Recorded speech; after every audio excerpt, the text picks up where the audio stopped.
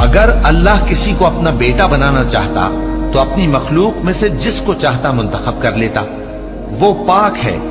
वही है अल्लाह जो अकेला है, बड़ा ज़बरदस्त है। उसी ने आसमानों और ज़मीन को तदबीर के साथ पैदा किया है और वही रात को दिन पर लपेटता और दिन को रात पर लपेटता है।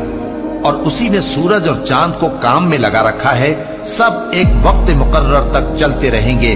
देखो, वही गालिब है बख्शने वाला है। उसी ने तुमको एक जान से पैदा किया, फिर उससे उसका जोड़ा बनाया, और उसी ने तुम्हारे लिए चौपायों में से आठ जोड़े बनाए।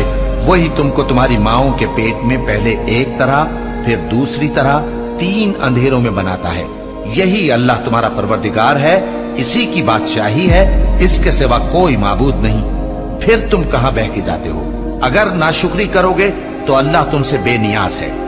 और वो अपने बंदों से नाशुक्री पसंद नहीं करता। और अगर शुक्र करोगे तो वो उसको तुम्हारे लिए पसंद करता है, और कोई बोझ उठाने वाला दूसरे का बोझ नहीं उठाएगा। फिर तुमको अपने परवरदिगार की तरफ़ लौटना है। फिर जो कुछ तुम करते रहे, वो तुमको बता देगा। वो तो दिलों की पोशीदा बातों तक से आगाह है।